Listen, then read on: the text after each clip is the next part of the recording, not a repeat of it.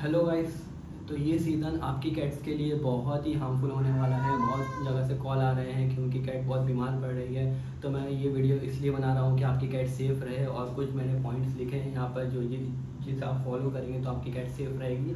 तो ये कुछ पॉइंट्स है, ये आपको कवर अप करने हैं एवरी के इससे कैट आपकी कैट्स हेल्दी रहेगी। तो आप वीडियो बिल्कुल स्किप मत करना। मैं आपको सब बताऊँगा कि कैसे कैट्स को आपको हेल्दी रखना है और कैसे ये नेचर से आपको अपनी कैट को बचा के रखना है। तो प्लीज़ कंटिन्यू वीडियो देखिए और बिल्कुल स्किप ना करें। तो फ़र्स्ट ऑफ़ ऑल आपकी कैट डिवॉर्म रहनी चाहिए। हर मंथ आपकी कैट को डिवॉर्म करना है और मेक श्योर sure कि सारे वैक्सीन के डोज उसके हो जाना चाहिए। तो उससे कैट आपकी सेफ़ रहेगी।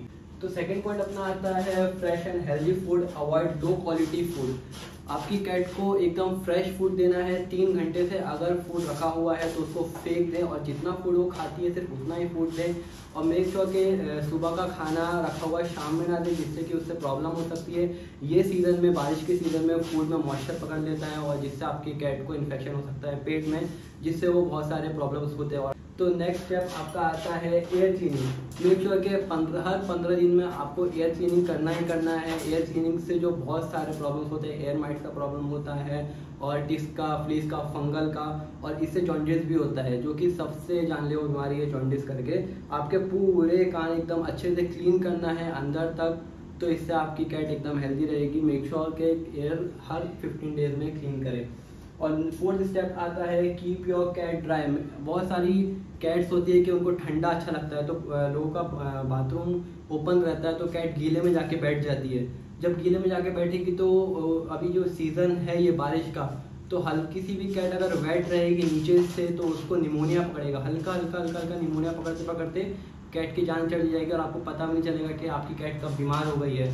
जैसे ही आप देखें कि आपकी कैट की नोज़ पर पानी है तो फ़ौरन उसको बेड के पास लेके जाए। अगर नोज़ गीली है तो वो स्टार्टिंग होता है निमोनिया का तो मेक श्योर कि आपकी कैट ड्राई रहे और अगर आप वॉश कर रहे हो आपकी कैट को तो अच्छे से ड्राई करना, पूरे पॉज भी, नीचे के स्किन भी पूरी, हल्की सी भी ना नमी नहीं रहनी चाहिए स्किन में, हल्की सी भी गीली नहीं रहनी चाहिए, कहीं से भी टेल से भी नेक से भी और नीचे से भी।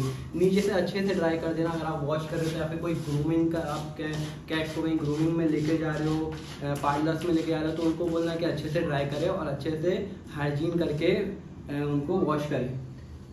फिफ्थ जो पॉइंट आता है अपना डेली क्लीन लिटर बॉक्स उसका जो लिटर बॉक्स है, उसको डेली क्लीन करना है। बिल्कुल भी आलस नहीं करना है कि मैं कल करूँगा, आज नहीं करूँगा तो डेली लिटर बॉक्स क्लीन करना, जहाँ पे आपकी कैट बैठती है, उसको अच्छे से क्लीन करना है जहाँ जहाँ एरिया पे बैठती है। और मेक श्योर sure कि आपकी कैट को बाहर तो भेजना ही नहीं, क्योंकि बाहर की अगर कैट से वो इंटरेक्ट करेगी तो उससे आपकी कैट को प्रॉब्लम हो सकती है। मे बी वायरस भी आ सकता है, और आपकी कैट को इंडोर ही रखें आउटडोर बिल्कुल ना करें। और मैंने बहुत सारी फ़ूड की रेसिपीज़ भी डाली है तो आप जाके देख लें और मेक श्योर कि अच्छा क्वालिटी का फ़ूड खाना मे बी आई एम्स हो गया है एन हो गया है रॉयल कैनन हो गया है, ये फ़ूड आप जाना, उसकी जो लो क्वालिटी फ़ूड है, इन फ़ूड में मत जाना।